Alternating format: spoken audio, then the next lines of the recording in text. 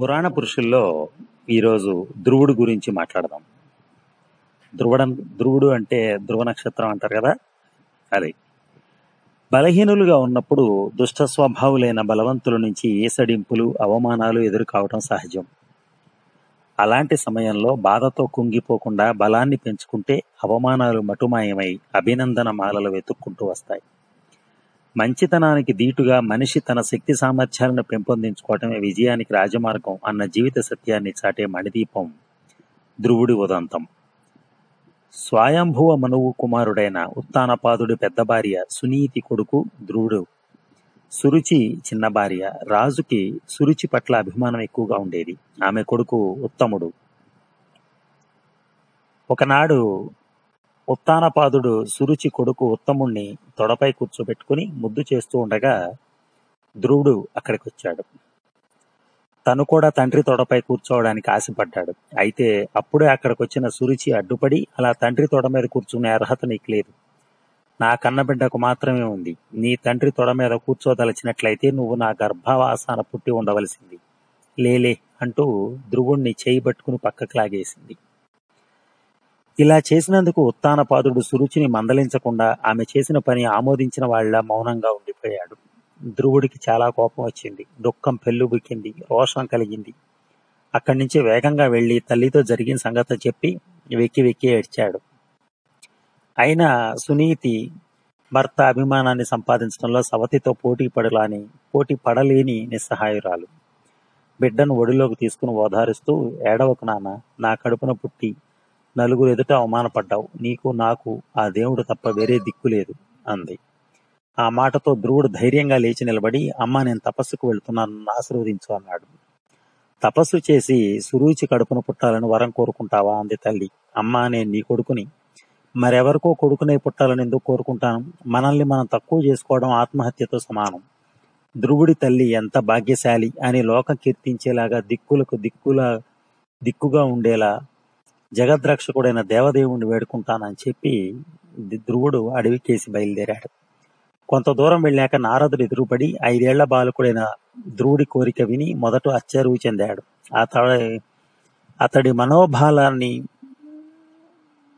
మాటలతో పరీక్షించి తృప్తి చెంది మధువనానికి వెళ్ళి ఓం నారాయణాయ అని అష్టాక్షరిని భక్తితో జపిస్తూ తపస్సు చేయి నీ మనోరథం సిద్ధిస్తుంది అని ఆశీర్వదించాడు. ధ్రువుడు మార్గమధ్యంలో సప్తర్షులను దర్శించి వారి ఆశీస్సులను కూడా పొంది మధువనంలో దీక్షగా తపస్సు ప్రారంభించాడు. ధ్రువుడి తపస్సు కారణంగా తన సింహాసనానికి ముప్పొస్తుందేమో అన్న అనుకున్న ఇంద్రుడు ధ్రువుడి తపోభంగానికి భీతి కొలిపించే ఇంద్రజాలం చేశాడు. వజ్రాయుధం జలిపించి ఉరుములు మెరుపులు సృష్టించి పిడుగులు రాల్చి నానా భీభత్సం సృష్టించాడు. ధ్రువుడు దేనికి చలించలేదు. విష్ణు చక్రం ధ్రువుడిపై తిరుగుతూ అన్నిటినీ తోలగొట్టింది.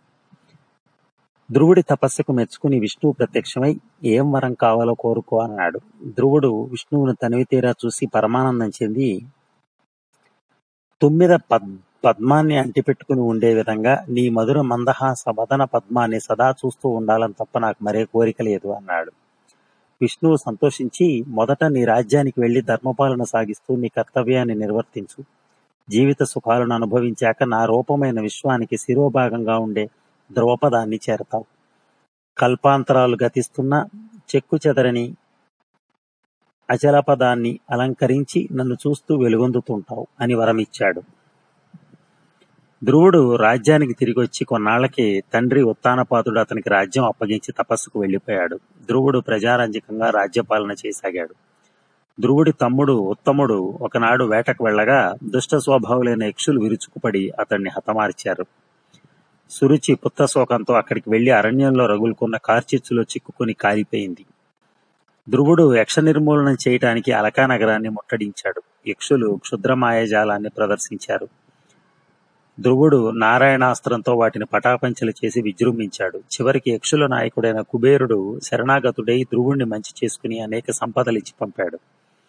ధ్రువుడు ఆదర్శ పాలన సాగించి స్వయంభువ మనువంశానికి కీర్తి తెచ్చాడు. వంశాభివృద్ధికి గుణవంతులైన పలువురు కుమారులను కన్నాడు. చిరకాలం రాజ్యం చేసి జ్యేష్ఠ కుమారుడికి పట్టం కట్టి బదరికావనం చేరుకున్నాడు. అక్కడ నిరంతరం విష్ణువుని ధ్యానిస్తూ బంగారు శరీరం పొందాడు. విష్ణు భటులు విమానం తెచ్చారు. ధ్రువుడు వారితో మా అమ్మని ఇక్కడే వదిలి నేను మాత్రం ఉన్న ఉన్నత పదానికి ఎలా రాగలను అన్నాడు. భటులు ముందుగా ఒక దివ్య విమానంలో ధ్రువ మండలానికి వెళుతున్న సునీతిని ఆయనకి చూపించారు. అప్పుడు ధ్రువుడు సంతోషంగా విమానం ఎక్కి ధ్రువపదాన్ని చేరాడు. ఏడేడు పద్నాలుగు లోకాలకు మీదుగా విశ్వశిఖరాగ్రంపై ధ్రువుడు దిక్కులకు దిక్కుగా ఆచలపద నక్షత్రంగా ప్రకాశిస్తున్నాడు. అనుకున్న సాధించాలంటే ప్రయత్నం ప్రధానం. భూగోళం అంతటి గాఢాంధకారమే అయినా చిన్న దీపకళిక వెలుతురునడ్డుకోజాలదు గోరంత దీపమే కొండంత వెలుగునిస్తుంది. చిగురంత ఆశే జీవితాన్ని ముందుకు నడిపిస్తుంది. పరిపూర్ణతను ప్రసాదిస్తుంది. అని చాటిన ధీరోదాత్తుడు ధ్రువుడు దృఢ సంకల్పం దీక్షాదక్షతలో ఉండాలే గాని చిన్న పెద్ద అనే తారతమ్యాలు లేకుండా ఎంతటి పనైనా సాధించలేనిది. ఎంతటి దాన్నైనా సాధించలేనిది ఏమీ ఉండదన్న అద్భుత సత్యాన్ని చాటుతూ దివ్య ప్రకాశంతో నక్షత్ర రూపంలో వెలుగొందుతున్న పురాణ వీరకుమారుడు ధ్రువుడు. చూశారా? తెలుసుకున్నారా ధ్రువుడు గురించి? ఎంత చక్కగా ఉంది. అనుకున్న దాన్ని సాధించడానికి ఎంతకైనా ముందుకెళ్ళాడు ఆయన ఇదే పట్టుదల మనకి పిల్లల్లో ఉండాలి. మనం ఏం చేయాలనేది మన టార్గెట్స్ వెతున్న వాటన్నిటిని అచీవ్ చేయడానికి ఒక్కటే మార్గంలో వెళ్ళాలి. అంతేకాని మన మనస్సుని రక- పరిపరి విధాల ఆలోచించేటట్లు చేసి మన ఓటమిని పాలు పాలు కావద్దు.